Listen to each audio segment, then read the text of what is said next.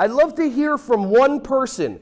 Is there one person that has an expectation for somebody in their life that they'd actually like to have a breakthrough in?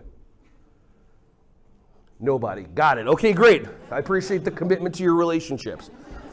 So think about a person in your life that you have an expectation for. He should be this way. She should be this way. And then say that to yourself in your brain and see how you feel. So think about that person, say their name or their pronoun in your head, should, and then the expectation. Ready, set, go. Now, how do you feel? Do you feel great about that expectation that you put on that person? Or do you feel a little off, a little negative? So consider taking the word should out and put the word could in there. Try that sentence again. Instead of he should show up on time, consider he could show up on time. He should do what he said he was going to do.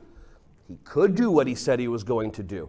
Try that on the expectation that you have for that person right now in your brain and see if there's a difference. Ready? Pronoun, could, and then the expectation. Go. Do you feel the same or do you feel different? Does that expectation benefit you? It doesn't. So, one thing I request of you is whenever you notice that you're getting upset, Consider most of the time you're just stuck in the matrix of your mind and you're running an expectation. So I ask you just to be nice to yourself. Because in reality, when you create expectations for others, you're the one that gets upset.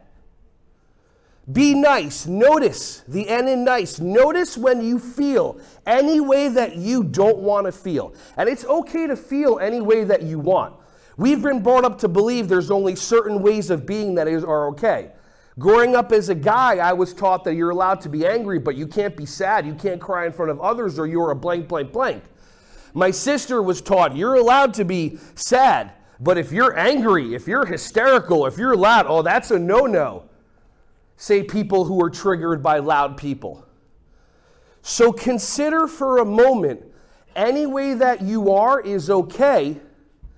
And if you want to stop feeling a certain way, nice.